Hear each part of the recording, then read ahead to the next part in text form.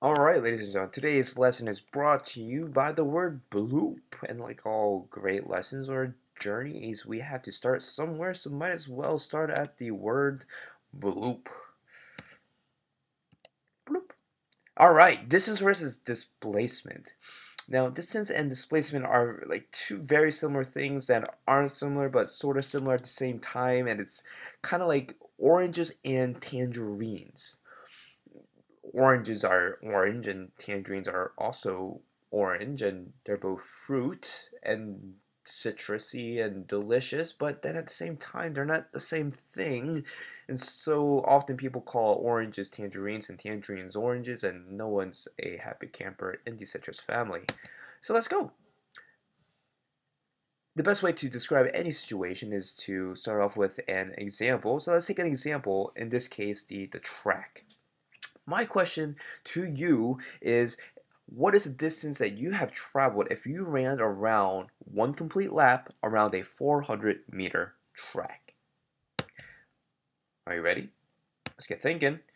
Get set go! And you the gun goes up and you run, run, run, run, run, and you find out that you ran for a total of 400 meters around the track and you burned about 50 calories. Go you! Did you figure that out? If you did, good. I mean, obvious, right? If the track was a 400 meter track and one lap is 400 meters and you ran around it once, well, obviously you ran 400 meters. But if we take a look at the same situation, but we replace the word distance with the word displacement, do we get the same results? Hmm, so my question to you is if you start and you end the 400 meter run around the track at the same exact spot, for example, if you start at the starting line and you end at the finishing line, which both happen to be the same very line, then what is your total displacement? All right. Are you ready?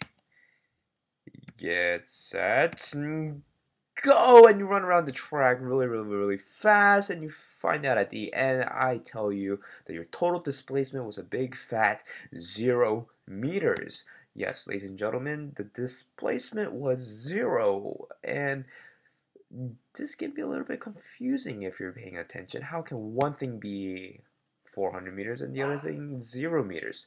So let's take a look at the numbers. If your total distance was 400 meters but your total displacement was zero meters, then what does that exactly mean? Well, distance is the total distance that you travel, the total amount that you traveled, whereas displacement is the distance between your start and your finish.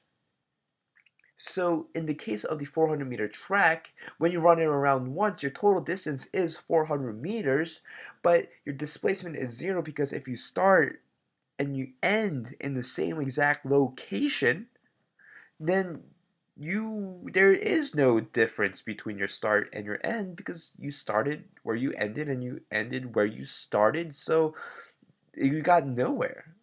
Think of it like this if your friend was at the starting line and you know they say ready set go and when they say go they faint they collapse on the floor and the very last image that they see is of you at the starting line. And then after you finish your 400 meter run as soon as they finish and as soon as you stop they you know they come back and they're awake and they see you at the finish line. In their heads they didn't see you run around the track you're exactly where you started and you ended exactly where you started when they fainted and when they came back. So to them, you got nowhere. So the displacement is zero. Whoa! So if we think about this, you can apply this into a lot of different things, and this is some harsh reality pondering. If you're if you're in the mood to uh, kind of think about something, this this is the thing to think about right? When you are born, you are, you know, say you're born in a hospital, you're born in room 201, okay? And then you go through your life and then you do great things and you make a lot of money and then you, I'm sorry, but you eventually, you, you die. All right, and let's say you die in the very same room of 201. If that were the case, here's the harsh, pondering reality thought.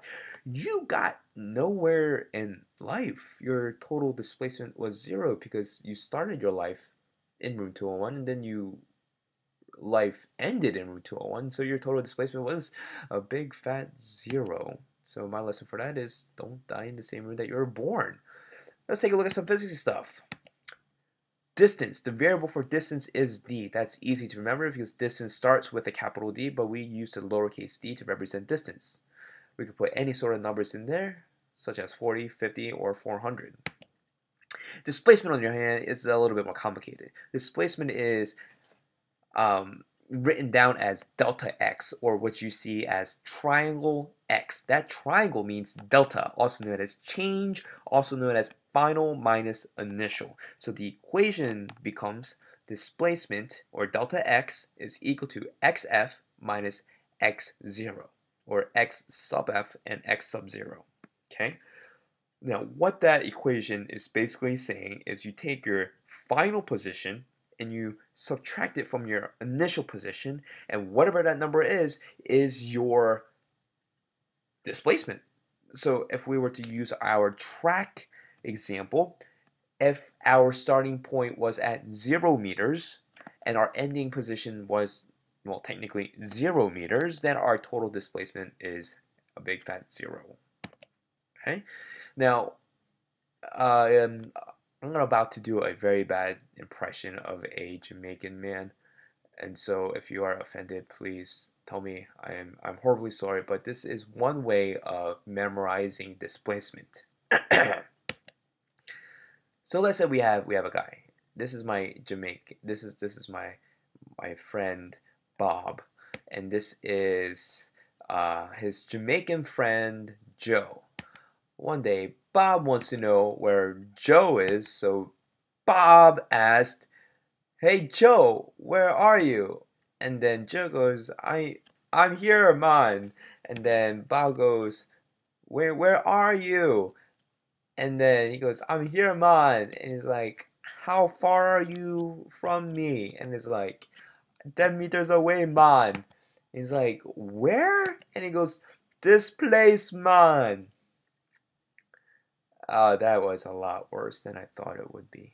Anyways, that concludes our lesson, and just like I said in the beginning, this lesson was brought to you by the word bloop, and we are ending with the word bloop, so the total displacement for this lesson is zero.